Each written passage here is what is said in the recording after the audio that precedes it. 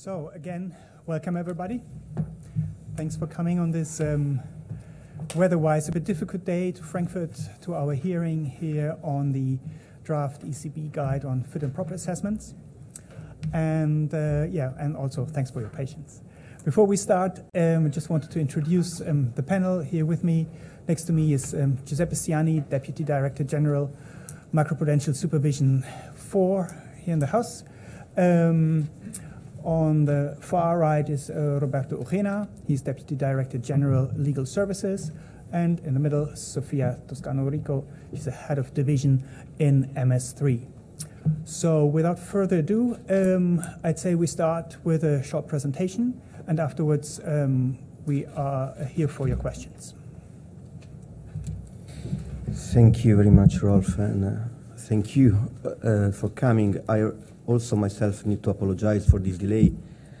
I was delayed with my flight from Brussels this morning. The, the flight was delayed by two hours due to bad weather condition. I am aware that also other participants have not been able to reach Frankfurt. I'm also looking for one of the participants who was uh, on my flight. I do not see him. So of course, this is uh, something that we cannot control, and uh, I hope that uh, uh, you will apologize me. But uh, I think that you already said we can receive e questions by email, but we are also open to have maybe bilateral contacts after today in order to help people that have not been able to, to reach Frankfurt today. Okay, so let, let, let's start. So like Rolf said, we, I will start with a presentation and then we will open the floor for with with questions. Yes. Okay. So first slide. So the objectives of a, of this consultation are you know are twofold. The first, we wanted to present and share with with you and the public the policy and the practices that we have developed within the SSM over the past two years, maybe more than two years, as a matter of fact, and also to collect your feedback because, of course, it's really a, a daily experience that we try to improve uh, as we speak. The, the, aim of the presentation today is needed to explain very briefly what we have done and go through the, the, guide. It goes without saying that the object, the object of, of the consultation is not the presentation but the guide itself. So let, let's go quickly, but uh, maybe I would like to start uh, by you know, some, uh, some background information. So first question also that I've been asked some, uh, a couple of times, not more than a couple of times, you know, why, why do you look at fit and proper? So it, aren't you created a bureaucratic type of things? Uh, uh for the fit and proper assessment is very important, uh, but not only for us, but for banks, because uh, this helps have effective uh, management of banks. Also help banks to uh, develop and take balanced decision, and also to contribute to strengthen the trust of the wider public in the banking sector as a whole. And for the avoidance of any doubt, the first let's say, responsible uh, stakeholder is the bank itself. So it's the bank that also increases its reputation by appointing people that are fit and proper for their for their role. We act rather like a, gatekeeper, like we put in a in a slide, because our task is also to ensure that banks have got a strong, robust uh, governance arrangement, and uh, within uh, this context, of course, the fit and proper uh, assessment plays a, a, very, a very important, a very important role. We uh, apply our responsibility applies to all banking groups, significant banking groups, including the subsidiaries, and that's why the number of proposals that uh, we have received is very, very high. So we are really, you know, we are we have received so far more than 5,000 uh, proposals for individuals. So that because we cover all the banking groups and the subsidiaries, the parent company and subsidiaries. But we will come back to this later. So let's talk about the legal framework again. Why, you know, because why are we looking at, at this also from a legal perspective? So the, the single rule book provides, uh, you know, and uh, explains the suitability requirements regarding the members of the management bodies of banks. And we conduct this suitability assessment for significant institutions, as I said before. Our competence is rooted uh, in, in a union law, in the relevant national law that transposes the directive, and also in the SSM regulation, SSM framework regulation.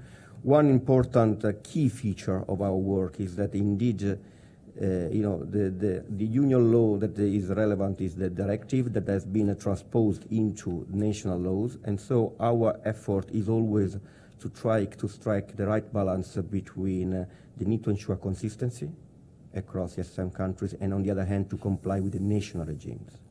So we look at how the directive has been transposed into 19 uh, legal different regimes. And we will come back to this again. So this is really the, you know, a very, very uh, quick uh, description of, uh, of, the, of the legal sources.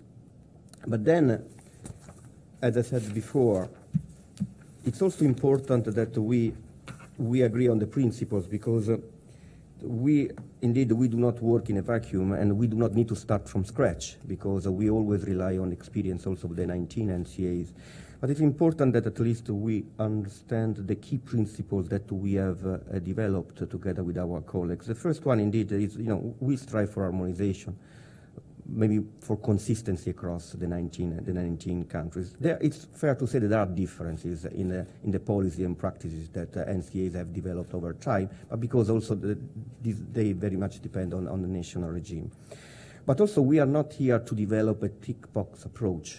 So we are fully aware of uh, specificities in some countries, specificities in some, in some banks, and also specificity for some individuals. So we always consider the need to apply the proportionality principle, and also we try to have a case-by-case -case assessment. So this is something that also the supervisory board has told us very clearly many times, and we do our best to, to avoid having a very mechanistic approach. We always try to look at the specific situation at hand. And we also try to ensure that there is a due and fair process. What do I mean with this? So it's, it's not just that we work in an ivory tower and then we come out at the end of the process by saying you are fit or you are not fit. We always, with, with the team, with NCA, we try to ensure a very open dialogue with the interested uh, stakeholders. We share our concerns during the process so that we, we remind people of the information that they need to, to, to, to deliver. So it's a very open dialogue. Nothing happens uh, you know, out of the blue and then with, a, with a surprise for, for, the, for the stakeholders.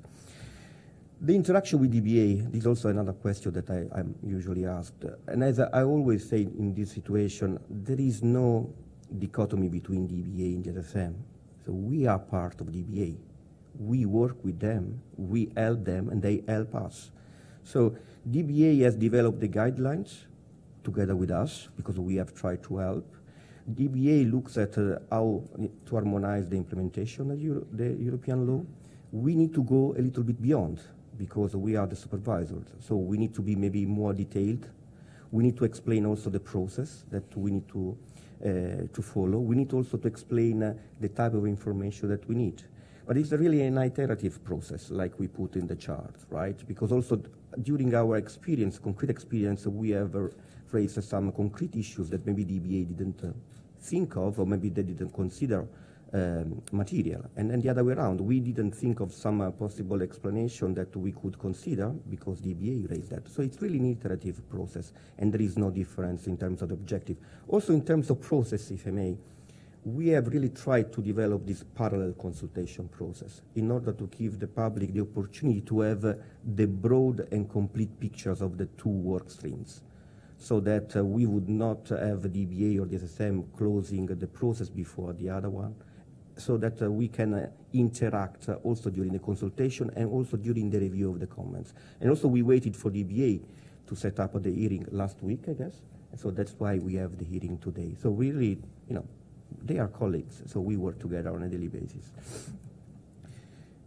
Now, the objective of the guide, as I said at the beginning, let's go maybe more, more in detail two main objectives. First, to ensure consistency by uh, implement and assess the criteria including in the, in the law in a, you know, in a consistent way. Sorry for this repetition. And second, also to increase the transparency of what we do, also in terms of process, in terms of information that we expect. So we believe that by being even more transparent, I think that this will help also the banks and individuals uh, to get ready to our request, and maybe also to adjust their choice and their self-assessment of compliance with the criteria.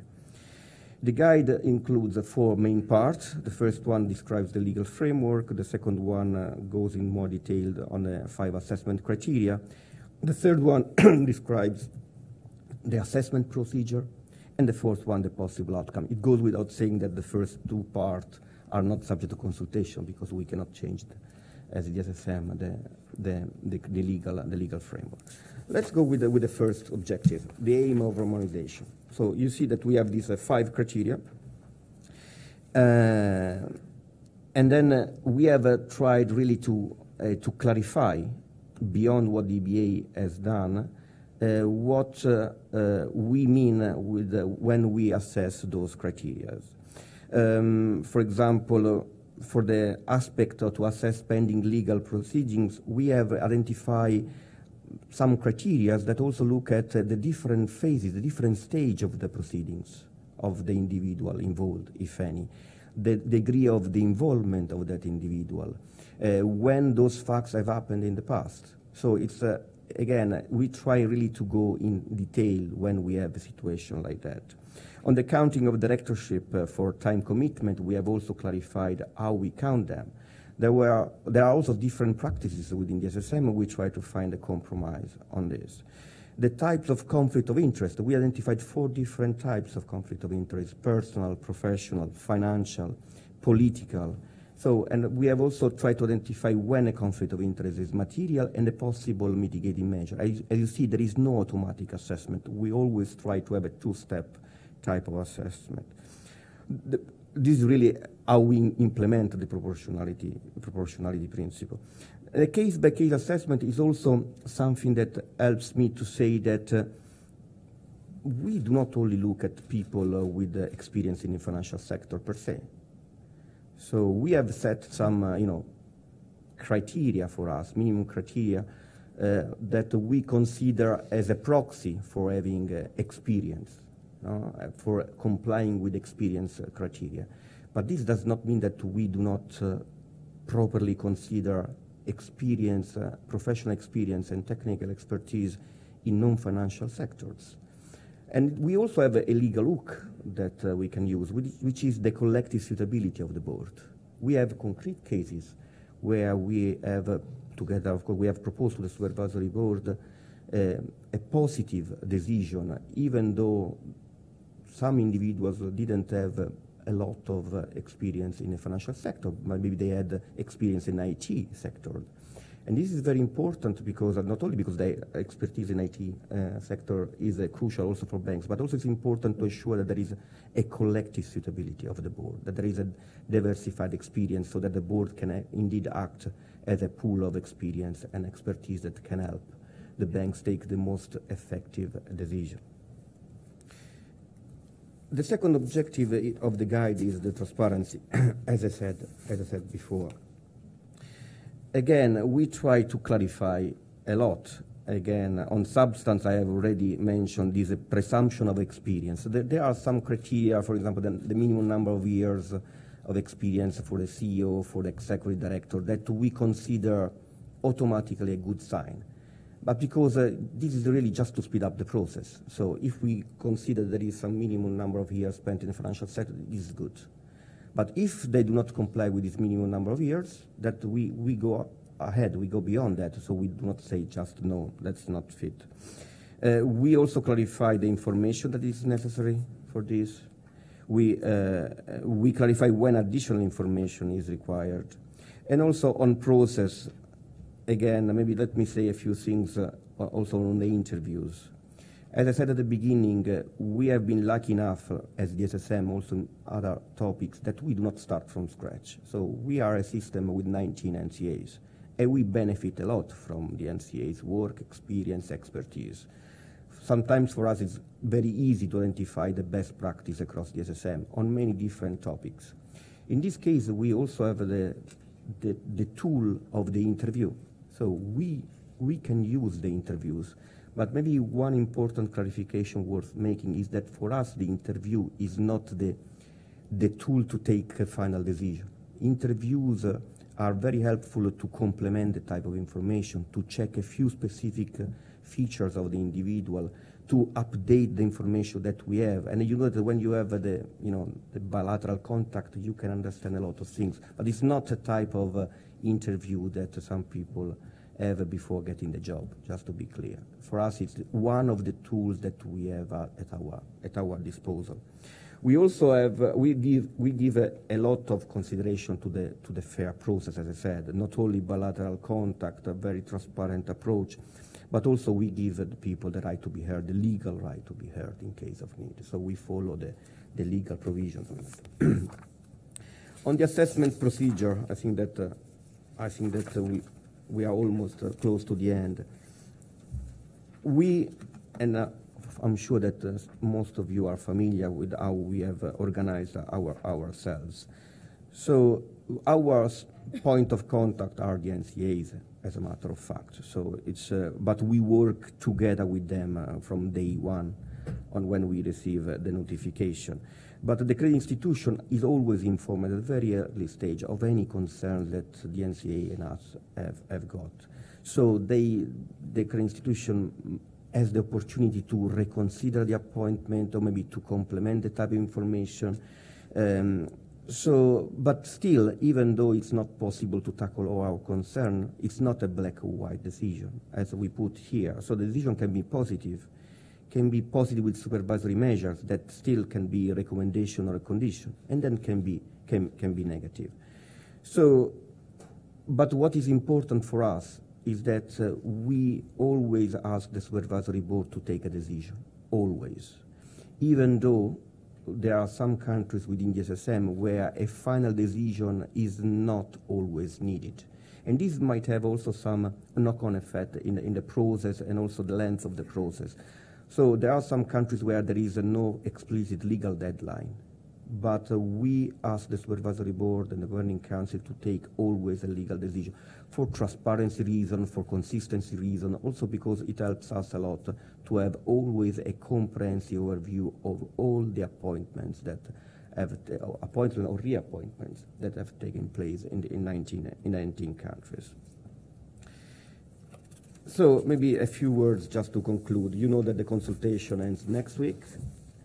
Uh, we expect to publish the final guide uh, by the end of the second quarter. Uh, it very much depends on, on, how many comments we will receive, for sure. And, and then, even though this has been a quite long journey, it's not just really the end of the end. I always said it's the end of the beginning, in the sense that we are we plan to review this document uh, based on experience, based also on any other uh, interested, interesting and material input uh, that we can get by, by working on, on, on, on this file. So I think that it's, so maybe I've been a little bit longer than expected, but uh, floor is open. Thank you very much. Good. So um, we're now open to your questions. Um, I'd say we we do it a bit like uh, the president's press conference. Uh, please indicate if you have a question, state your name and uh, affiliation.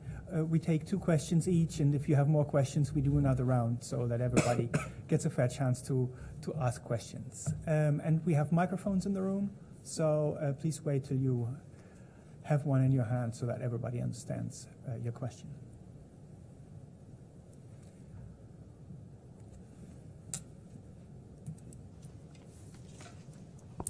So, thank you very much. Uh, I'm Jorge I'm from the Aareal Bank. They are um, um, working with the Aareal Bank there in the board office and uh, be responsible for the uh, supervisory board, um, executive board members and their suitability. Um, I would like to raise a point and lead your attention to, to one thing. I don't really know if it is a question or maybe I only, only want to drop, a, in my opinion, uh, what the problem is. You said that um, you consider in particular the um, experience of members when they when you assess the suitability of them. And in this case, you uh, you've wrote it on uh, page eight of the presentation, case by case assessment. You also assess diversity as an important aspect of factors. Diversity, yeah, in gender, this is no problem because it's not related to the question of qualifications, but uh, also we see that the uh, that increasing point is that uh, the authorities want us to have diversity in professional backgrounds. Uh, by regarding the auditor directive, there is written that uh, all members of the audit committee has to have experience out from the financial sector, the sector where they are working, uh, where, they, where, where, the supervised entity is in. And in Germany, we have transposed, transposed this um, directive law for the audit committee members and even for the whole supervisory board, which means that the majority of the members has to come from the financial sector if you are in a bank. This narrows the possibility for diversity in uh, professional backgrounds, I guess. So I will uh, yeah, drop this point. This is very complicated to, um, even if you remind that uh, in Germany we have the represent representation of employees, which maybe if they are coming from subsidiaries, not from institutions, and to then have the majority of the members experienced uh, gaining their experience from the financial sector, this could lead to the situation where every representative of the shareholders in the supervisory board has to come from the financial sector.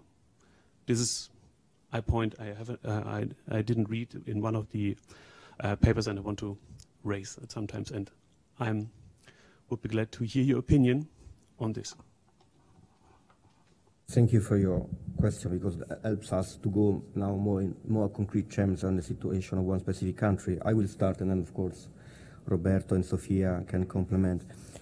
This is uh, our policy stance from a supervisory perspective. So, however, first thing that uh, I should have maybe stressed further, we cannot be, we cannot develop any decision which is against the national law. So, of course, we develop stances that to try to ensure consistency, but there is always a limit of uh, national law.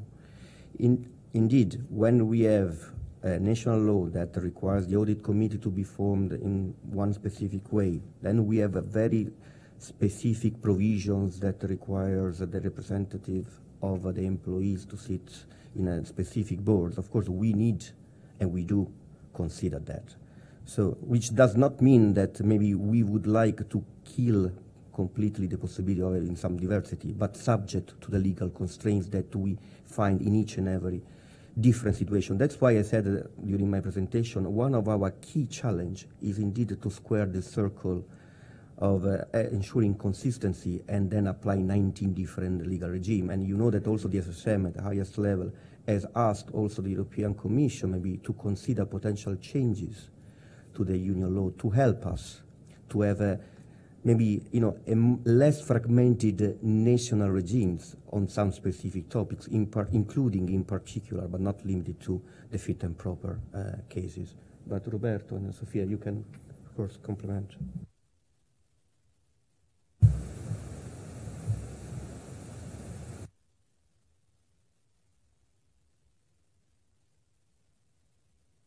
Hello, everybody. Odile Régnier. Uh, I'm uh, legal advisor at Crédit Mutuel, which is a French cooperative group. I have three questions. First one is, uh, at the level of our central body, I'd like to know if after the entry into force of the EBA guidelines and your guide, uh, could we continue to uh, assess uh, the suitability of our, the member of our board?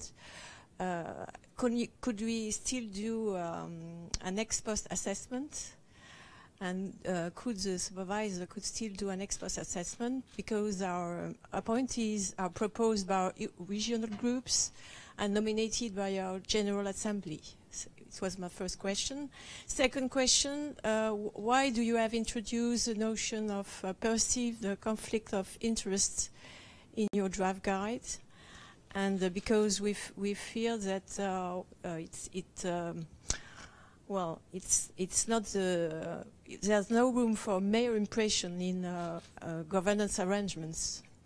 And the last question is about. Um, uh, do you consider that the power granted to the supervisor to um, question the facts underlining uh, proceeding, even if the outcome is in favor of the appointee, is in line with the res uh, judicata principle?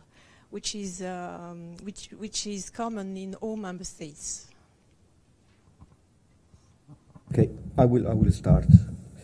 On, on the first point, on this uh, ex post ex ante assessment, I, I think that is a quite, uh, and again, uh, it's quite an important point, uh, also that affects our, our pending uh, procedures. Uh, again, we follow the national law on this, so if there is an ex post assessment allowed under national law, we will follow that. But also from, let me say, from a, a, supervisory perspective, having an ex ante or ex post assessment has some material impact also on, uh, on how we work, unfortunately. I said that uh, we have uh, received more than 5,000 proposals, and we have, the supervisory board has approved more than 4,300. That we have some backlogs, of course. Um, even though, again, let me stress that in 98% of the cases where we have a legal deadline, we are able to comply with that which means indeed that if you have uh, a national law that helps us to keep up the incentive for banks and individuals to provide us with information, the process uh, will be even easier.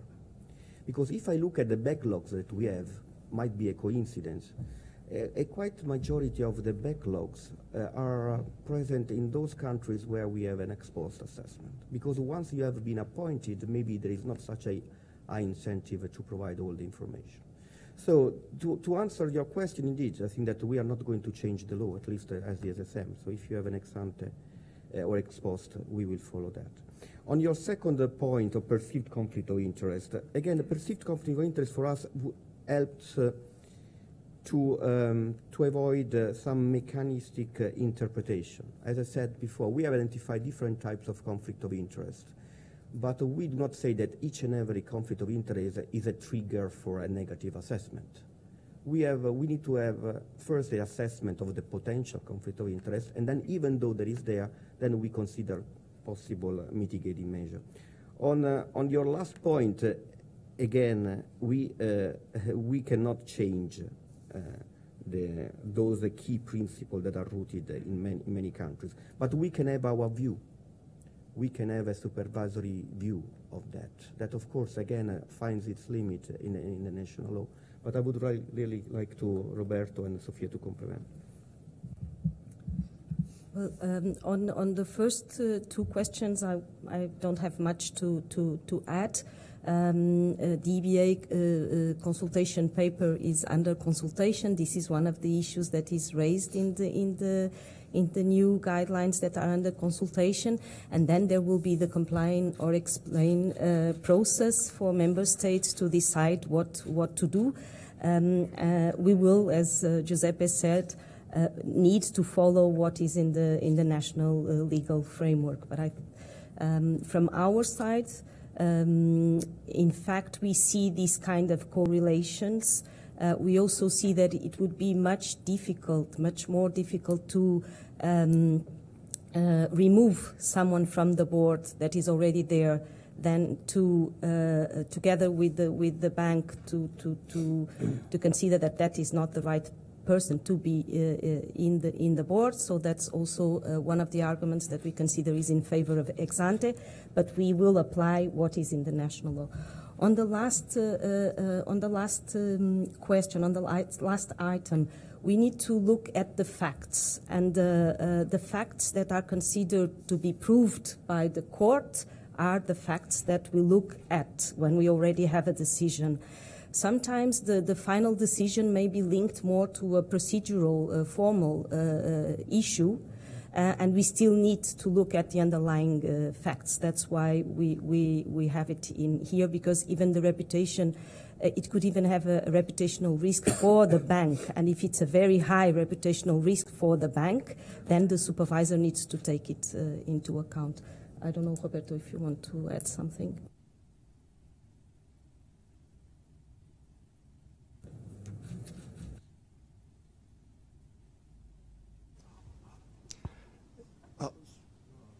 May I? Uh, Grégoire Cruz from the Crédit Group in France.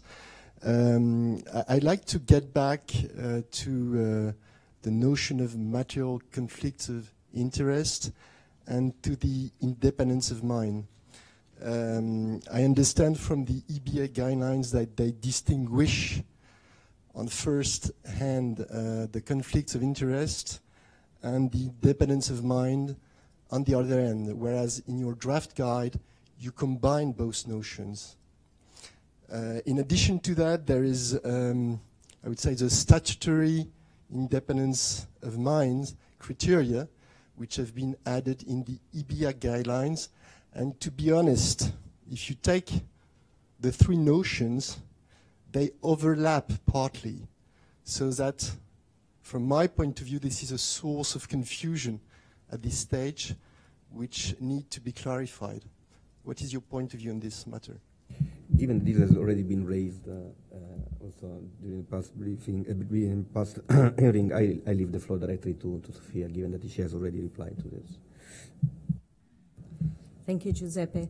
Um, well, we, uh, we totally agree with you that the concepts need to be uh, clarified and clear. Uh, so if there will be a need to, to clarify, even to, to make it uh, more in line with, uh, with what will be in the, in the guide, in the EBA guidelines, we will for sure do it.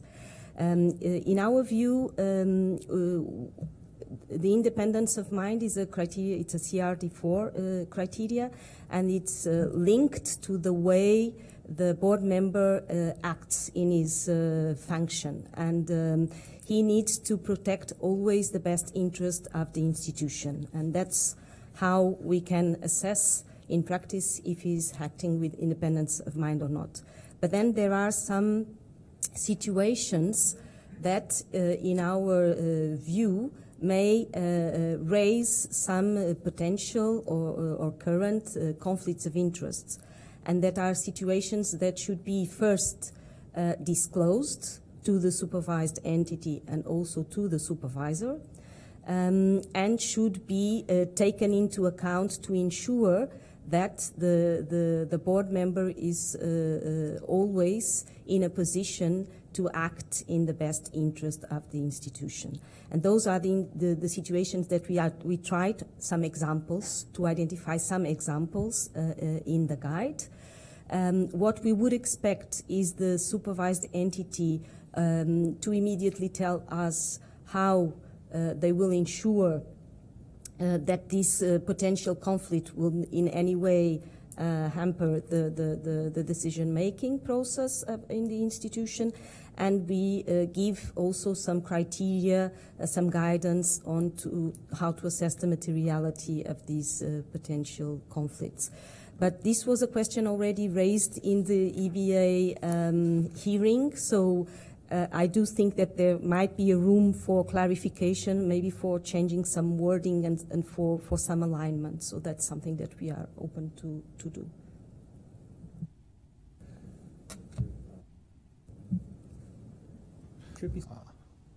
Is it working? Yes. Federico Cornelli, um, Head of Advocacy of the Italian Banking Association. I represent all the Italian banks. Uh, we really welcome your efforts of harmonization.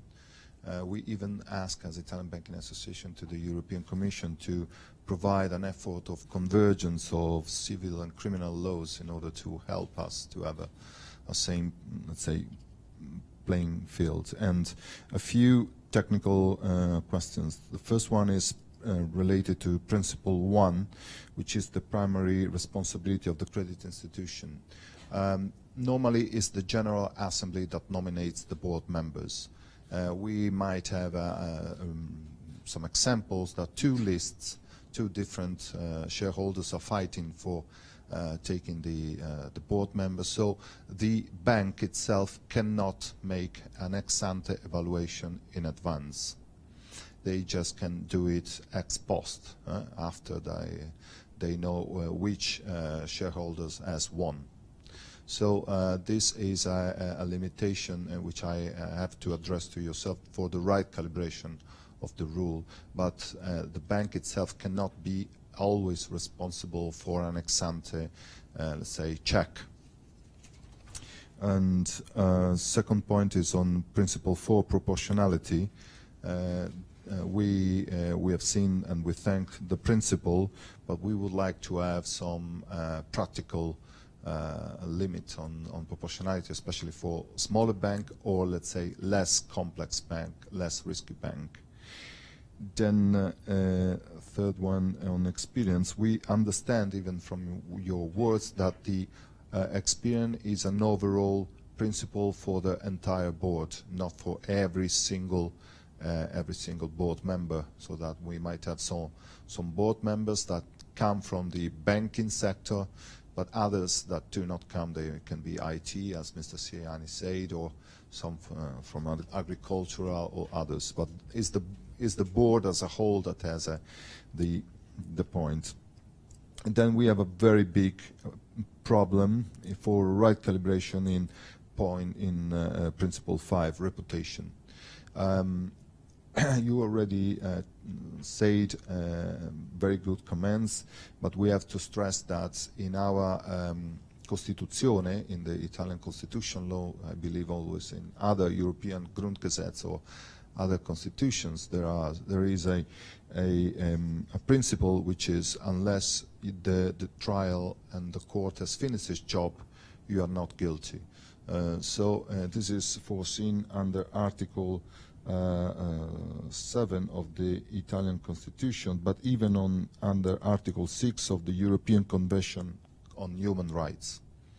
So uh, there is a conflict which I have to to stress uh, and to have a right calibration of the rules. Otherwise, we could have a, a fighting between this your your gui guidelines and the and the principles. And um, for example, in Italy, we have a, a criminal law regarding tasso usura when you, you give money out at a very high tax rate, which uh, almost automatically provides some, um, some problems. So this would create a relevant problem in our case. And this, again, is a problem. Second is uh, conflict of interest. We do not understand. You want, let's say, a separation between uh, um, the shareholders and the board members, but in some case the, the bank belonged to the family. So it's quite natural that the shareholder which owns the bank or which have a relevant ownership do nominate himself or his son, his brother into the board. And uh, we would like to uh, to keep it out of the question and to because this is not a conflict of interest, this is a convergence convergence of interest, of, uh, of course. Thank you. Again, I will start and then I will leave the floor to Sofia and Roberto. Um, we, uh, we know the, the specificities of the Italian law on many, many respects. Uh, we see when we receive uh, uh, the proposal. On, on the AGM, point taken, uh, but it's also fair to say, as I said, that our work is really to help share what our expectations are. So it's also fair to say that the banks can also, I'm not saying influence, but at least can help the different groups of shareholders to choose uh, the most appropriate candidates based on, uh, on, on the stance that the SSM has developed. So this is really part of our, uh, you know, part of our overall objectives of being so transparent on what we do. On the proportionality for small banks, I can tell you that we have discussed this until we came here. It's really on the top of our mind. Uh, we uh, positively assess individuals based on the nature of the bank, of the type of business model, of the size. Of we really look at the details. Um, also, in particular for cooperatives, now we have a, a representative of the cooperative sector. We do acknowledge the need to be proportional, uh, and so we propose a positive decision in cases that we would not have done for larger banks, I can tell you. So I think that it's difficult to give you concrete examples because uh, it's really, we try not to have, as I said, a checklist, an automatic checklist. We really want to go together with the JST, we want to understand the situation of the bank, the situation of the person, how that person has behaved so far, because of course, you know, if one any individual has behaved properly despite a high number of uh, directorship, people might argue that there is no need to change. Even though when you see 25, 30 directorship, maybe you might argue that, uh, you know, he might need to have some uh, time buffer in case of crisis at least. But we, we, we properly consider that. So I, I can tell you that even Danielle, Nouy, Sabine, and the board are very, very clear on the need to ensure a proportionality. On, on, the, on, on the experience, maybe I was not clear. I think that uh, we look at both. We look at the experience requirement for each individual, and then we look also at the collective suitability. When we look at the um, the requirement expert, uh, experience requirement for the individuals, we look at the minimum uh, automatic criteria to speed up the process, but we can also be more flexible in, and so we look at both. On the reputation, I think that uh, I speak under Roberto's control, then I will tell him, I will I hope that he will complement, but let me just say one thing. Our role is not to declare one person guilty or not guilty. So we look at uh, you know, the fit and propriety of a person from a, a supervisory perspective. So we might develop our views so it, which is a different concept from declaring a person guilty or not guilty. On the conflict of interest, again, we also have those cases, of course, uh, that if we have a majority shareholder that wants to appoint someone, uh, you cannot avoid that. But, you know, I would not consider this that for granted because we want to see how the overall board uh, works. But uh, Roberto first. Thank you. Uh, for this uh, question on reputation, of course, as Giuseppe said, it is not our task to find a person guilty or not guilty this is for the criminal courts to decide, of course. But uh, the issue that the procedure are uh, could be uh, proceedings could be ongoing is uh, does not preclude us uh, from taking facts from the proceedings that could be of relevance for the assessment of the suitability of the candidate. That means that, for instance, there could be facts under this proceeding that could be uncontroversial, for instance, and could be even accepted for the to the uh, for the candidates, and then, of course, we cannot be blind to these facts. And also we have, we have also to take into account the mere existence of the proceedings and the impact of these proceedings uh, for the uh, reputation of the of the bank, for the reputation of the pers- of the of the candidate uh, in first place, and also the impact for the bank. So in the end, it's not that we have uh, to declare the person guilty or not guilty, but we cannot be blind to the existence of the proceedings and the potential impact of the proceedings on the on the bank in the in the end.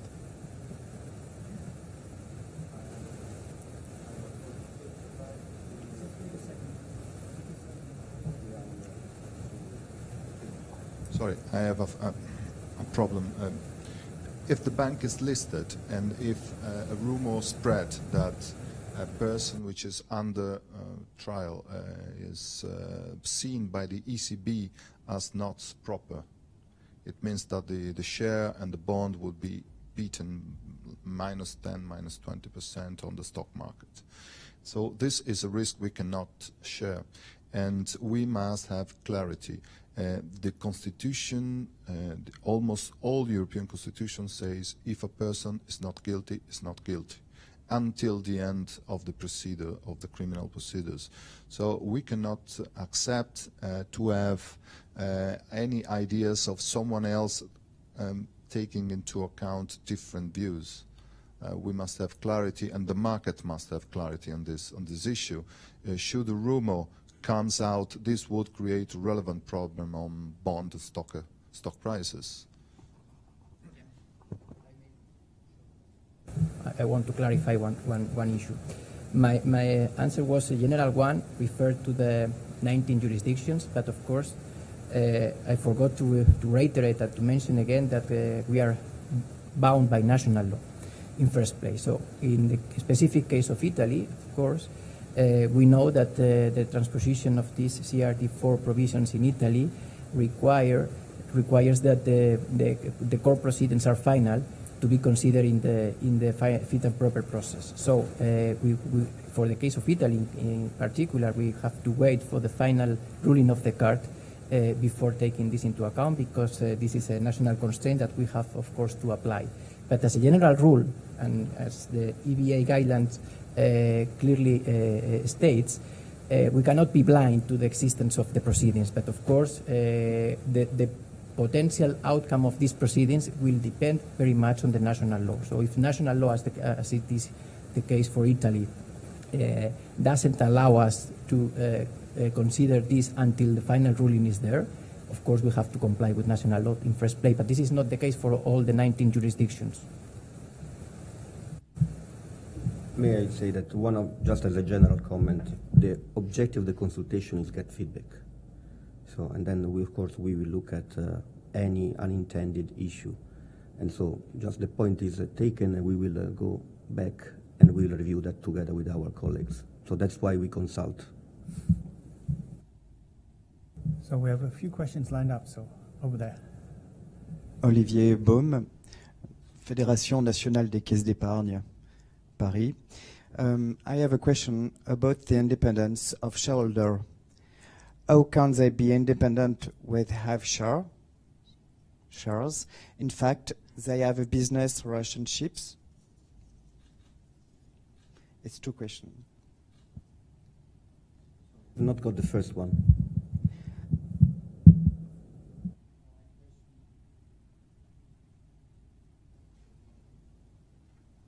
Can you switch on the microphone, please, again? Yes. Um, for the independence of shareholder, um, how can they be independent where they have shares? Is the first question. And reflection, in fact, they have a business relationship or no?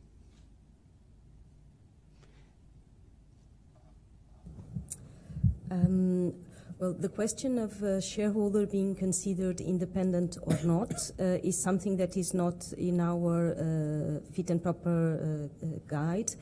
Um, it, I, I, learned from practice that it depends again on national law. In some national laws, it's clearly one of the, the criteria that would make the board member considered as non-independent. Um, but in other member states, that's not the case but this is something that we are not covering in our uh, uh, guide. What we say in our guide is that um, we will, if there, if there are formal independence criteria in national law that need to be assessed when a board member is appointed, we need to look at that.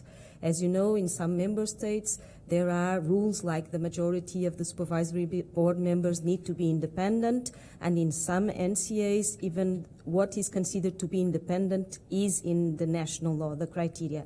And that criteria uh, vary from member state to member state. So we are not up to now uh, touching this uh, uh issue uh, in our guide. What we say is we include this shareholding uh, relationship in, in the, the overall uh, naming of the, the potential conflict of interests. And what we say is that this information needs to be disclosed. So the supervisor needs to know which members of the board are representing the, the shareholders. But we also state very clearly that shareholders in the boards are uh, acceptable because uh, it's clear for us that um, the, the, the, the line, if it's a majority shareholder, that there should be uh, uh, uh, some alignment. we would still like to see people that are not shareholder representatives in, the, in that board. Uh, but we are not saying that uh, if you are a shareholder representative, then you cannot be in the board. That's that's a clear message. Could you could you give the microphone to the colleague just in front of you because he was. That works. Everybody gets a fair chance. Let, us see where's in front. Uh, uh, Jens Riel, Egon Zehnder. Um, from from a maybe practical perspective on appointments, of course, the quality of the assessment is is crucial, uh, but so is the process and the speed of it. And I uh, understood from from your presentation that there are of course many factors that play a role in making sure that a uh, decision can be can be found in a, in a timely manner. You mentioned the issue of receiving uh, the information you need from, from the bank or from the appointees, so their responsiveness, there may be an issue of internal resources. Uh, but then there's also maybe also a question of the simple process you set up. And if I look at your process that you uh, line out here, it's clear that you want to have the NCAs as the entry point, and there may be even national law requirements that it has to be this way. But I'm just wondering, again, on a very practical uh, perspective, wouldn't it make sense to have a parallel application to the NCA and to you, which could surely take out a few weeks uh, of uh, you know forwarding the documents from the NCA to you? Um, we already have a parallel process, if I may. Maybe I, I, can, I can be more detailed. By the time that the NCAs receive the proposal, they immediately notify to us. And then we start the interaction between uh, JSTs here in, in Frankfurt, the competent JST sub-coordinator, the horizontal function here in Frankfurt, the horizontal function in, uh, in, in the NCAs. So the, as you said, we also, for other situations, we always have the NCA as a single point of contact because there are also some national specificities. But I can assure you that we are really in daily contact from day one with the NCAs. Also, and at the beginning, I acknowledge that uh, there was maybe some uh, delay, also because the machine had to be, you know, tested. But we have introduced a lot of improvement and standardization in the process. Um, as I said, 98% of the proposal in those countries uh, uh, with legal deadlines comply with the, legal deadline. We have some backlogs, and sometimes in two-thirds of the cases, we still need to have the information that we have asked the banks slash the individuals. So maybe in many cases, the, the ball is not in our camp. So you might argue that we should enforce these, uh, you know, deliverables more strongly, which is an option that we are considering. Indeed, we have never considered a sanction if uh, uh, if an individual does not deliver the requested information in two months or three months, which is something that maybe now after almost three years we should consider. But uh, there are a lot of factors. Uh, uh, overall, we believe that by the time that we have the information here, it would not take more than seven, eight weeks until we finalize everything. But you should also consider some minimum number of working days uh, in order to have the approval of the supervisory board and of uh, the non-objection by the governing council. On this, however, I think that we can also say something about delegation. Can we say something about that?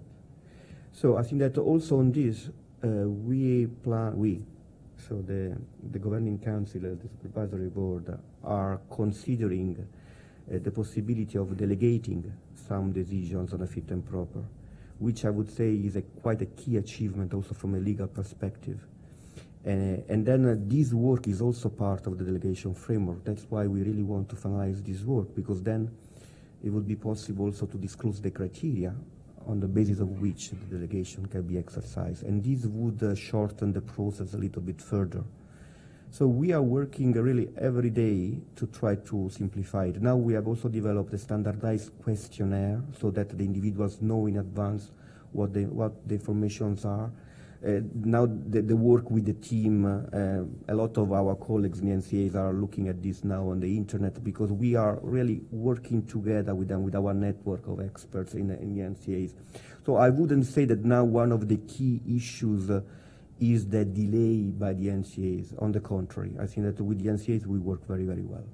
Uh, I think that uh, we should maybe ensure that the proper incentives uh, to be on time are there but of course, we, we, we keep on looking at internally on how, how we can improve that further. Um, maybe just to, to, to also give a bit more of information in detail on, on the process. Um, we really try to have a, a risk-based approach uh, in the assessment process. So when we identify that cases are without issues, really plain vanilla cases. We put them through uh, very quickly. Uh, as Giuseppe said, uh, the NCAs, there is a specific workflow in place, uh, uh IT workflow. So as soon as the NCAs receive the notifications, we are uh, automatically uh, almost um, also notified and informed. And uh, the first thing that we try to ensure with the JSTs and NCAs is, is this uh, uh, a plain vanilla case where we wouldn't find uh, issues, or is it a case that we need to, to, um, to go deeper uh, in, in, the assessment? And the time, the, the, the assessing time varies significantly if it's one case or the other. So when we give the average, these two, of course, are taken into account, but there are cases where we need an interview. There are some cases where we need a second interview, a specific interview. So there are cases that really take uh, longer. Um, um, in our risk-based approach, that, that also depends on, uh, on the, the, the, the, type of entity. Is it a top uh, entity of a significant group where if it's for a CEO or chairman position, we would always require an interview unless it is someone that uh, uh is already very well known by the supervisor. I don't know if it's the, the vice chairman that becomes chairman, maybe we don't need uh, that, that interview. But if it's someone new coming to the bank, we would do it. So uh, we are really trying to not to have a tick in the box exercise, but differentiating uh, and having a risk based uh, approach process. Um. So we have quite a few questions lined up. So there was one in the back. That's gone. Done. So then we have some question over there. Uh, hello, uh, Mariano Lasarte from KPMG Spain. Uh, my question is very related with what uh, uh, Mr. Toscano just uh, clarified. It's about the interviews, about when the interviews are, are to be celebrated. The guideline specifies that it's only mandatory in the case of the of a CEO and of the president, and for the rest will be in those cases where clarifications are needed. Uh, shall we understand that in the case where thresholds exist, if the thresholds are not uh, accomplished and the detailed assessment is started, it will be automatically, there will be automatically one, the interview or, or this is not automatic. And the second case is, uh, uh, there are some countries where these interviews are not, are not a tradition and are you considering to be intensive in, in these interviews or you pretend just to minimize them only for those cases where the threshold is not reached or where there is specific relevant issues? Thank you. Um, thank you. Uh, yes, well, um, we we try to distinguish between mandatory and what we call internally discretionary uh, interviews. So mandatory would be for uh, CEO and, chair, chairman positions in uh, in top uh, uh, institutions of, of, of, significant groups or standalone banks, material subsidiaries of, of significant groups. Um, and the others would be um, uh, deemed uh, necessarily necessary on a case by case basis. So there is no automatism between not fulfilling a threshold and, and then becoming immediately the need for an interview. What we do if, if a member uh, does not meet uh, that uh, threshold is that we, we look further into what is the input that that member brings to, to the board, what is the is, experience, what are there gaps that were identified before in the board that is going now to to, to cover. So we go into a bit more detail. We discuss a lot with the JSTs on how is the governance of that uh, bank. We go into more detail.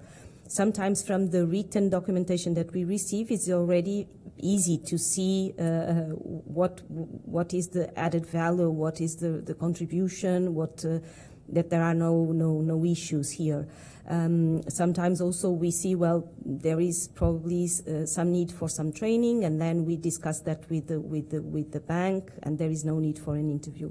Interviews are really to when we have uh, still uh, some doubts, when we need some clarifications, um, and independently of the of the country. So we do know that there are some countries that have no not so much tradition on this, but we are ensuring that all uh, uh, NCAs and also all JSTs members that will be uh, participating in interviews are having uh, adequate uh, training to be able to, to sit in, in the panels.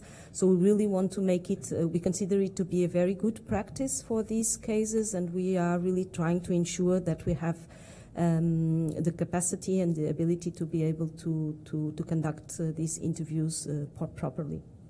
Let, me stress what Sophia said about the involvement of all the stakeholders, also on our side. We always, when we decide to conduct interviews, we always have uh, a representative from the NCA, either the JST or the horizontal function, and also the same for us. And also, if I can give you my personal experiences, indeed, they are extremely helpful. So when we have doubt, and also not only for us, but I think also for the individual, I think that uh, my personal experience is that also the individuals are pleased also to, to clarify a few points, to share their views, also to, to, to talk about the strengths and the weaknesses of the bank, maybe. And also, I think that the, the, the experience so far has been very, very positive. But we acknowledge that this is really something very new for some countries. But still, we want to export the best practice developed in maybe in a few countries within the SSM to other countries, because the experience is very positive for, for both sides. But we try to be very inclusive also on, a, on the SSM side. We always want to have the NCA perspective during the interview as well.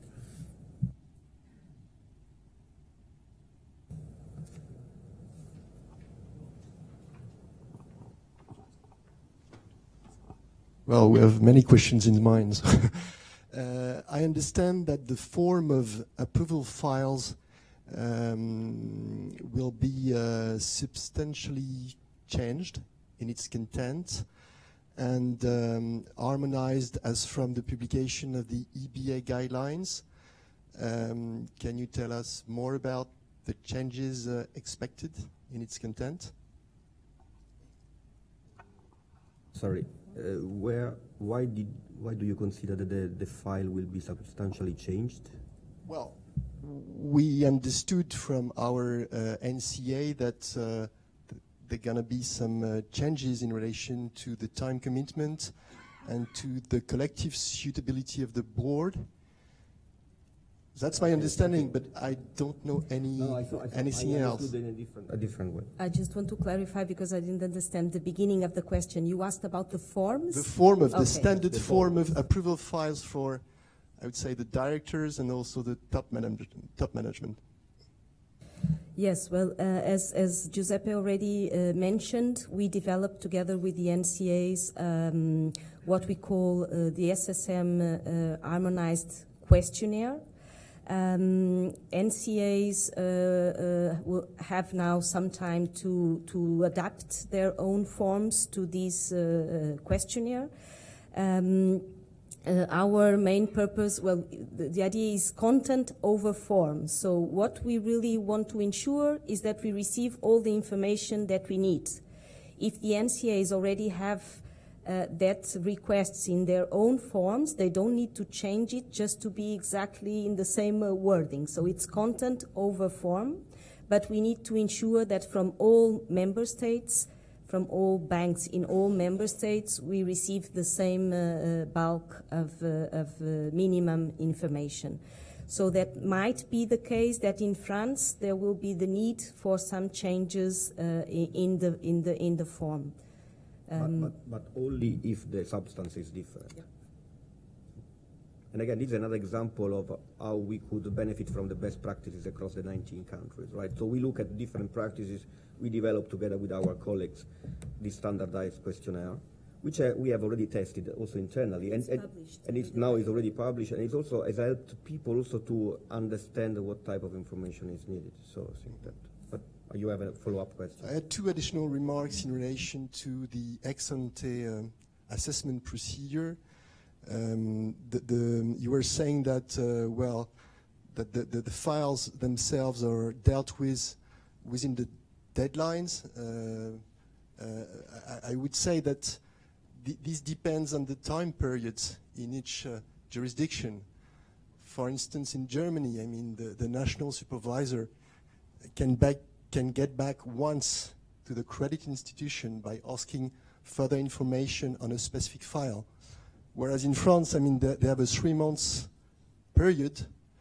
And to be honest, I mean, if they are overwhelmed with work, at the end of such period, they can relaunch another additional time period of three months just to make sure that they're going to make it on time.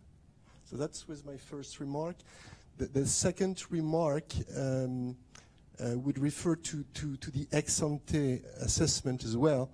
Um, with the ex with the ex post, um, I would say system, you just send one approval file for a board member just elected within a period of 15 days after its election. with the ex ante assessment and given the sovereign rights of the General Assembly, you would need to send three approval files. Why? You would need to anticipate a refusal of approval by the, I would say, the, the, the, the supervisors. That's the first thing.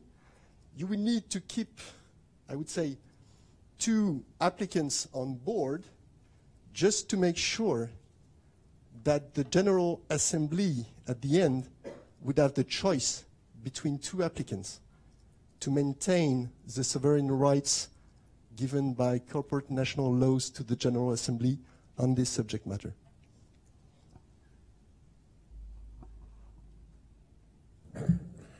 Um, uh, first, I would like to also say that this uh, question on ex ante, ex post assessments, it's not uh, uh driven by our guide. Uh, it's a, discussion that, uh, and I think a very useful discussion, but it, it's driven by the EBA um, guidelines and the consultation.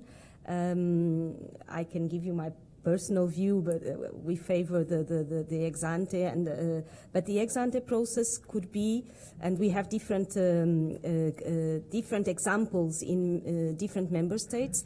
In uh, some cases, the ex ante means that the, the, the member cannot be appointed before assessment, but in some cases means that the member cannot start his position before assessment, which can make uh, some difference. No. Uh, so this is, uh, I think, a very useful discussion that that that is being um, taken, and and um, and let's see what will be the conclusions. But I, I, would like to stress this that the second thing is that. Um, for significant institutions, uh, there is also a very important role for the nomination uh, committee and we never discussed that, uh, or I don't see uh, this element coming in the in the discussions. Uh, the nomination committee needs to to uh, conduct uh, some assessments even before the General uh, Assembly meeting. So, what is exactly the role of this nomination committee that should ensure that the candidates are compliant with the, with the suitability uh, requirements. So I think this would be also something that needs to be taken uh, uh into into account. Uh, on the timelines, um, well, I, I, I, see your point, but uh, from an ECB perspective, we really don't favor that approach that we just ask questions to delay to, to, to, to have more time to assess. So uh, that's something that we really don't uh, don't uh, favor.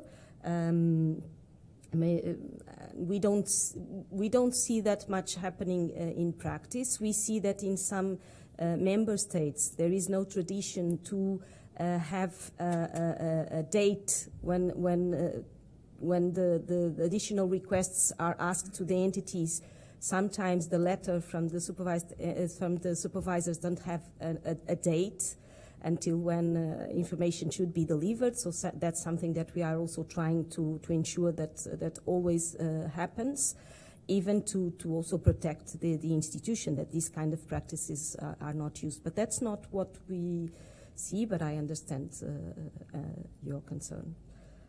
Maybe one question. You said that uh, if there is an ex post, there is only one package because then the, because you take for granted that everybody will be approved right? And this is also part of the issue, eh? because when it's ex post, in particular if there are listed banks, it would be quite disruptive if indeed uh, someone that has been appointed by the AGM does not comply with the rules. And that's why we want to be absolutely transparent from an ex ante. So from our perspective, at least again, from a personal perspective, the ex ante could be a better process uh, with some shortcomings. Eh? I, I, do not, but once it's an ex post, uh, people have been appointed uh, uh, notified also to the public, then it's very difficult. you see, also you assumed and you took for granted everybody would be approved. But still, uh, let's not forget that we do not have a black and white situation. So you can have a condition, recommendation, and that's what we do. So it's uh, so it's. Uh, I, I do not like to consider this assessment as black and white type of things. We are not here to punish people, or uh, so we, we are really trying to increase, uh, in the end, the reputation and the, and the governance of the banks. Right? We are not here to have fun because we want to reject uh, appointees. So we really try to to strike uh, the right balance between all these different uh, drivers uh, underpinning our assessment. We are talking about between 40 and 70 proposals per week, just to give you an idea of what we are talking about. I already have the microphone. Um, I want to uh, want to ask three questions, and um, I apologize in advance because I think I need about one or two minutes to um, uh, explain my thoughts. Um, first question is shortly, is short. Um, it's only a comment on what you say about the ex ante process. Um, you say, yeah, there's a reputational risk if you assess them as not suitable. But I want to raise this is this is our risk, yeah, and uh, we would like to uh, stay in charge to um, decide if we will take the risk or not to take the risk. If there is somebody uh, coming originally from the banking sector, there is a very less risk, and but maybe it's very complicated. If you assume that you need six or maybe more months, the assessment can can uh, take time. Yeah, maybe these uh, candidates say, okay, no, six months is too long. I want, I don't want to um, to wait so long. So only I think this is this is our problem, and especially the problem of the nomination committee. Yeah. So and the uh, second question a little bit longer. You see, the third question will be very long. Yeah? Um, you say one of the triggers uh, for the fit and proper assessment is if, uh, for example, an ordinary, mem ordinary member of uh, the risk committee, for example, will become the chairperson. And we uh, thought about why. Because if you have a look at the EBA uh, guidelines on the internal governance, there are only uh, suitable requirements for all members. All members have to uh, have to have knowledge, this word expertise, which is not known every, everyone else, and experience about risk management and uh, risk issues. So in general, and we thought about okay, what does the chairperson of a risk committee has to need more than any other ordinary member because all of them have to decide on risk issues. And they vote equally. So the weight of the vote is, uh, is equally. Um, we understood it, uh, we understand this approach in the case of the um, chairperson of the audit uh, committee, chair, uh, chairperson, because there are uh, law requirements, especially uh, regarding this person and evil, when the chairperson of the whole supervisory board, because they have uh, it has to have a uh, very special relationship to the chairperson or the CEO or something, and has to evaluate every ad hoc situation shortly. And the third question is a little bit, um, yeah, it's a little bit complex because this is in regard of this point, what the colleague here in front of me has said. Um, we should submit a, a, short description how the individual member fits on the needs of the collective suitability, which so a uh, uh, prerequisite of this is to develop and target image what collective suitability uh, needs you are uh, you have. Yeah, so you have to say, okay, these are our requirements to be collectively suitability, suitable. And we have the problem that we don't really know what should what is the gap between the minimum requirements for each individual member and the collective suitability. Because, and it's even very, um, this is very common from the German company law because there is no difference between individual and collective suitability. Um, what is something, and maybe you can give us an example, where you say, okay, this is a competence or knowledge or experience or something which is not um, required from every member, which means that, yeah, uh, that it's not uh, necessary to decide on typically supervisory board issues, but which maybe have only one or two persons. Maybe your example is digital competence, competence but I have to say, uh, in our opinion, we say that uh, digital competence is something every member has to ha has to possess because you need digital competence to decide on IT risk risks, which everybody, uh, which every uh, each member has to do, and even to assess the new challenges of digital transformation. But this is not something only one or two members can have. It, every member has to possess this uh, special competence. So, thank you. Let me follow up on your, in particular, your first point. Uh, as I said, indeed, the reputational risk should be taken by the bank because that's the, the primary responsible for the decision. But also, we are supervisors and try also to to to develop uh, our views. Uh, but again, you you reiterated your concerns on on uh, on the length of the process, right? And again, Germany is one of those countries where there is no legal deadline. And at the beginning, uh, indeed, we had uh, some uh, backlogs for German individuals. And I think that uh, we had an excellent cooperation exchange of views with the NCAs. And then now I have really a very, uh, I have very detailed statistics uh, that I have in front of me every week that the team prepares. And I can tell you that as of today, we have indeed very few cases related to German individuals with a, with period that is outstanding for more than six months. Significantly, significantly lower than it, it was the case six months ago. So I cannot exclude that at the beginning, but also for other countries, uh, the period might have looked longer than before, also because uh, all NCAs, not only German, NCAs had to adapt to the new framework. Uh, we also had to develop our own process. As I said, we have simplified that. But I don't think that one of the drivers for choosing between ex ante and ex post that, oh, come on, if we have ex ante, then we need to wait for nine months the ECB. I don't think that this would be a proper argument. Also because, again, if we look into the details, then in many cases the delay was uh, also due to the fact that individuals was not so fast in uh, delivering the, the, information that we asked for, because they also took for granted that they had already been appointed. So it, I'm not say, I say that uh, there are different factors. I think that uh, we acknowledge that at the beginning we had to improve. We have been always open, also in the annual report, we have said that. Uh, so, but I think that now we have uh, managed to reduce these cases uh, together with the NCA, together with the banks, because of course also the banks now understand us and the NCA is much, much better. I think that the, ex-ante, the decision between ex ante ex post depends on a broader set uh, of, of drivers, including the legal one. Of course, we cannot change it.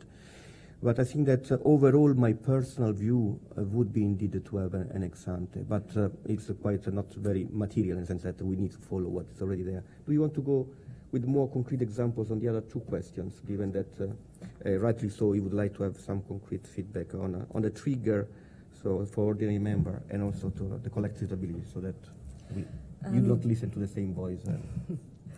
Uh, on, on your second uh, on your second question, uh, well, uh, I totally understand uh, coming from a, from a from a German uh, legal background your your views because in fact all the board is responsible for the for the deci decisions is a collective decision, but. Um, when we assess uh, uh, the suitability, uh, uh, the fitness of a board member, we need to take into account what is the role. So we need to take into account both things, even to be able to apply proportionality principle. We need to be able to take into account the nature, scale, complexity of the institution, of the uh, business model, but we need to take into account the role, the specific role um, of the person. And if someone is uh, being appointed as a supervisory board member, uh, that will be the chair of, the, of one of the committees, namely the risk committee, we would expect that person to have uh, experience uh, on risk management, for instance, which doesn't need to be the case of all the other uh, board members, even if in the end the decision of the supervisory board is a collective one. But if you want to think about also getting some diversity in, in the board, it will be very difficult to require the same level of risk management expertise for all supervisory board members. Um, so we try to, to, to uh, assess uh, also taking into account the specific uh, role uh, that the board member will, will perform in the board. Um, on, the, on your last uh, uh,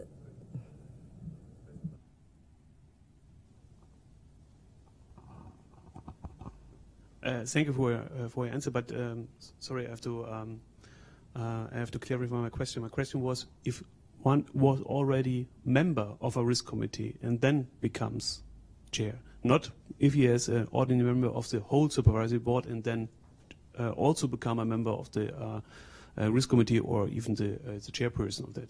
Only if he already is within this committee.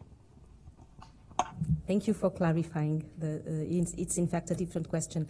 Um, we, uh, uh, as a general rule, when there are changes in roles, so again, we are uh, under the, the need to apply national law.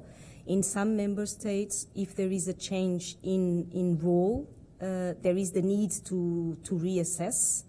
In other uh, uh, national legal frameworks, that's not the case. When that is not the case, um, what we, we look at is, is the new role requiring uh, additional expertise? Uh, if yes, so it, if it's what we consider a, a significant change, so it would be a, a new fact, it would be considered as a new fact, and then we would also reassess if we don't see uh, that the new position would require different skills or different uh, um, experience, relevant experience, then we don't even start uh, a new assessment. Is this clear?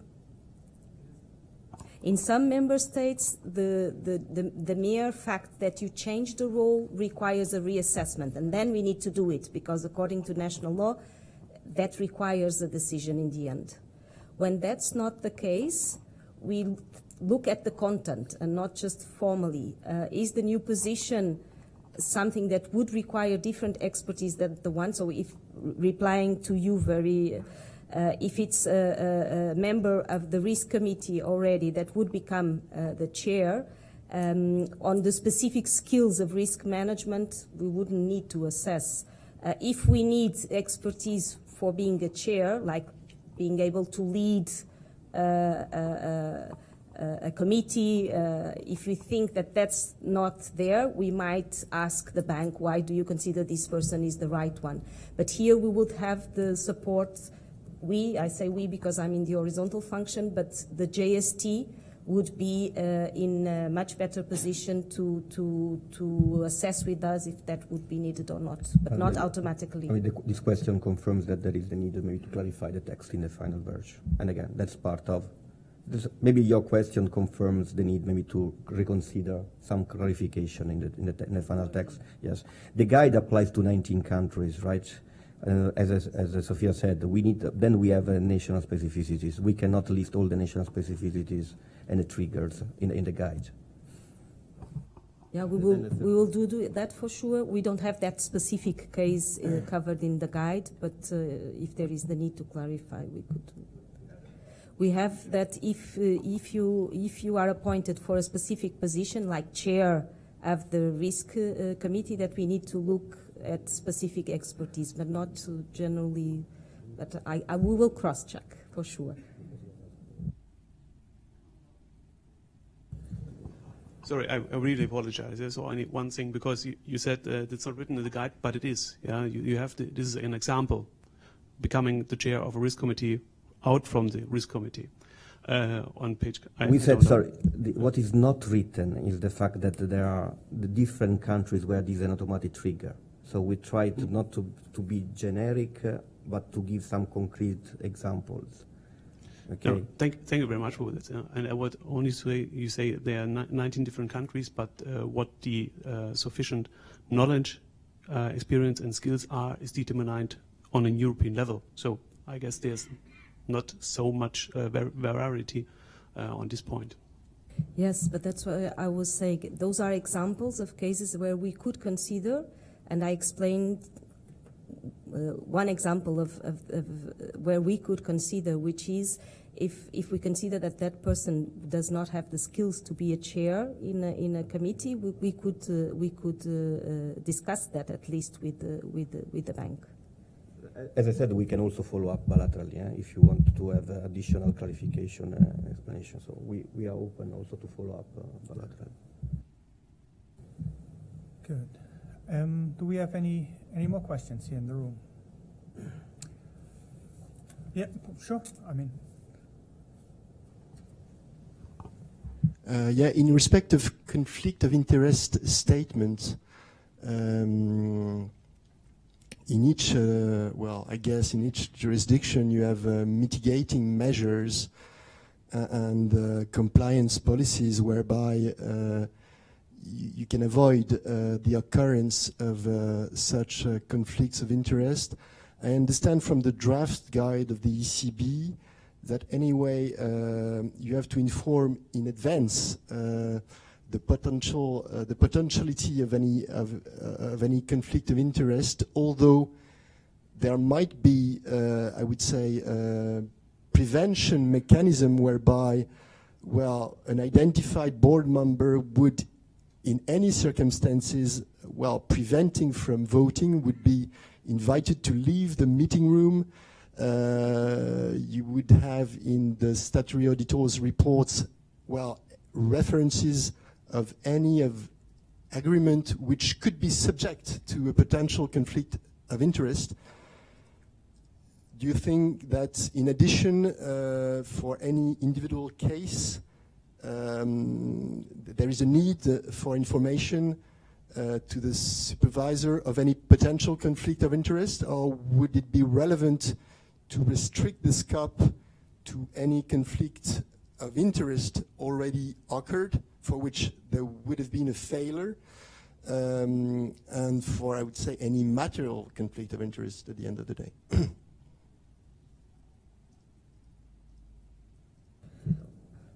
um, well, what, what we would like always to have is uh, disclosure of the potential conflict in the specific situation. So um, the, the disclosure I would, we would expect to receive uh, always. Uh, if then uh, the supervisor is already informed, uh, for instance, I can give you the example of, of uh, cooperatives, French cooperatives, so where um, um, we received and even discussed with the NCA the conflict of interest policy of the, of the group.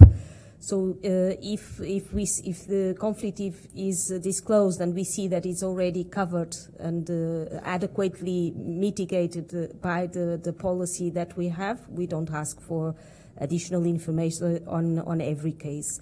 But the disclosure, yes, we would expect uh, to to know from the candidate what are the the, the, the the conflicts or the potential conflicts. Yeah, this is really, I couldn't agree more. The, the disclosure is really key. So I think that would speed up the process, would help also align with the NCAs on additional information that also the JST might have, not only on the specific bank policy, but also we know that we have a more general agreement, now more general policy that in some countries uh, can, can, be developed. The, the, the self-disclosure of the potential conflict of interest would help a lot. Uh, we have we had some cases where some potential conflict of interest were not disclosed, and then we had to really go into greater detail to understand better also why that potential conflict of interest had not been disclosed. We also had the interviews to understand that better. I think that disclosure is really the best approach on, on this. So, and in some cases, it would speed up the process because maybe this information is already available to the JST, to the NCAs, because that's part of some more general uh, specificities. Maybe. Yeah. Good. Um, I would like to. Ah, there's a new question here in the in the room. Hello, Mike. On behalf of the European Banking Federation, first of all, thank you for your uh, presentation. I just have one short question left with regards to the uh, experience you require for uh, people appointed. Um, we were already very reassured to see that you are not going to apply this uh, experience requirement in financial services in a mechanistic way but you uh, make a difference between somebody appointed within the management function of the manage management body and the supervisory function of the management body. and would just like to know how you will tackle this problem in countries in Europe that have a unitary board system, which is often the case. Um, well, also in uh, unitary, uh, in uh, the tier one system, we would expect to see members with executive uh, functions and uh, members with non-executive functions. So that would apply in both in both systems. Um, when when um, the banks submit to us the, the, the, the, the, applica the applications with the, the way the candidates, they clarify if the member will have executive functions or non-executive functions. Okay, so um, we got a few questions from, from participants who couldn't come today because of the weather, right? And the, most of them uh, were covered during the, the last one and a half hours or so. There's one that I wanted to uh, to ask on behalf of um, the um, German Associations of, of, Savings Banks, and they um, they combine uh, assessment criteria, time commitment, so Chapter 5.4, with um, the principle of proportionality. And it reads, according to the draft, detailed information on a daily and hourly basis, as well as detailed information, shall be mandatory. This could lead to overly um, bureaucratic processes in the end. And the question is, how's the ECB planning to apply the principle of proportionality in this context? So I read this as, how do you do, do you deal, uh, do you treat smaller banks differently from bigger banks? That's how I read it. I already said something, but um, well, as in for almost all criteria uh, for, uh, in, a, in a, an assessment view, we have a two-step approach. Um, we don't ask for all that detailed information in all cases, only when uh, from a first uh, uh, assessment we identify time commitment issues. So if it's a board member that complies with the CRD uh, for um, counting of, of, directorships without privileged counting, we don't go into that detail even from uh, an information uh, requirement. Uh, we only ask, uh, and I, we expect that to be clear in the guide, but if not, we made it more clear, we make it more clear. We only ask if there are uh, time commitment concerns. Um, and we, we explain how we, we distinguish it. So if the banks want to anticipate, because they anticipate that there might be any time commitment issue, then they could send already uh, all the detailed information fair to say that when we receive this self-assessment, it also helps the individual to understand that maybe there is something to improve on his side as well. Because when you, when we read the list of uh, tasks and the number of days and hours that uh, he or she dedicates to all those tasks, I think that he or she herself himself understand that maybe is uh, maybe too busy, and that I think that it's quite an interesting, uh, you know, development, an interesting reading that sometimes it's quite clear that uh, he or she might have reached the limit of time commitment. Okay. Good. So, yeah, thank you very much for all your questions and for, for coming here to Frankfurt. Um, if you here in the room or somebody um, outside of the room on the webcast feels that there is um, more need to ask questions, um, please uh, approach us um, either bilaterally or um, even more importantly, um, there's this consultation uh, process going on um, in through which you can can submit comments and and uh, wishes, questions um, for uh, changes to to the draft, uh, and you find the um, uh, the instructions how to take part in the consult uh, consultation period in the comment period on our website. Even um, a form is there, so that makes life probably much easier for you and for us. So thank you very much and uh, have a great weekend.